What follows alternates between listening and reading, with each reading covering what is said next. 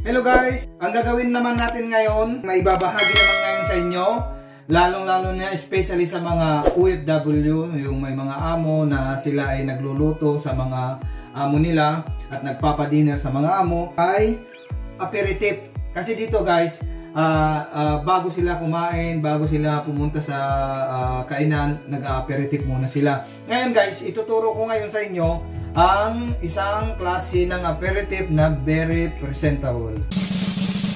Cherry tomato. Ang ating ingredients guys is hipon na maliliit. Okay? Hipon na maliliit. The important guys, avocado. Avocado. Okay? Putit avocado. Persil. Huwag natin persil. Lagyan natin lahat guys. Persil.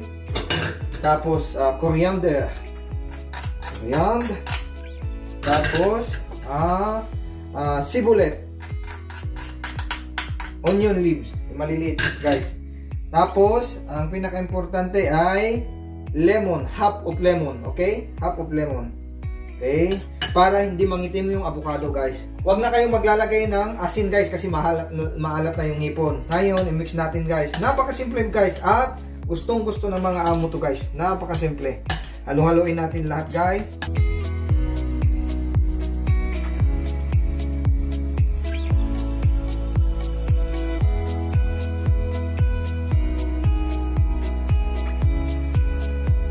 Pag sinabing gumawa nga kayo ng aperitif uh, ganito ganito di eh di.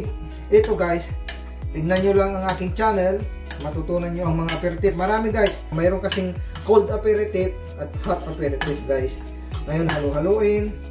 Halo-haluin nyo guys. Yan. Tapos, pag nahalo-halo nyo na, okay na. Okay guys, ilalagay na natin yung aking uh, minix na ingredients.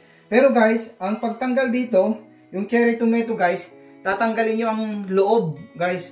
Tatanggalin yung loob.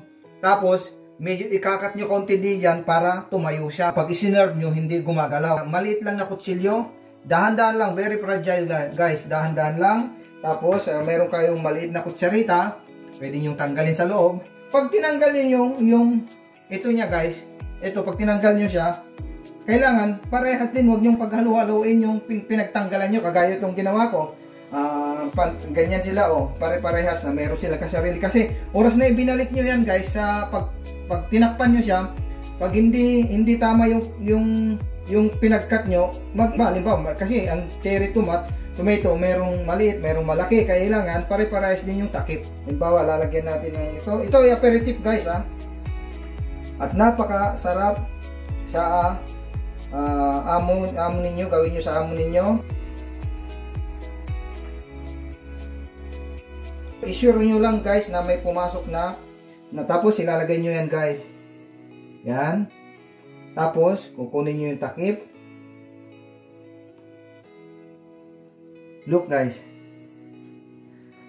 Ganyan guys ang magiging sistema niya. Like. Okay? Okay guys, na, na, naayos na. Look guys. Very presentable guys. Look. Parang kamatis siya guys. Napaka-presentable ang pagkagawa. Look. Kailangan pantay-pantay. At matutuwa talaga ang yung amo guys pag ganito ang ginawa nyo, aperitif ng dinner ng amo nyo, ay sasabihin sa inyo, huwag ka nang umalis.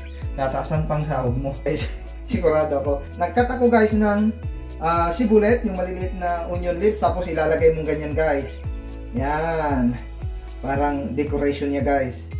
Look guys. Wow. What a beautiful guys. Aperitif. Yan ang aperitif guys. Okay guys, uh, I hope na nabigyan kayo ng isa pang idea ng aperitif guys at very presentable. I hope na na-follow nyo yung mga yung mga ingredients na binigay ko sa inyo.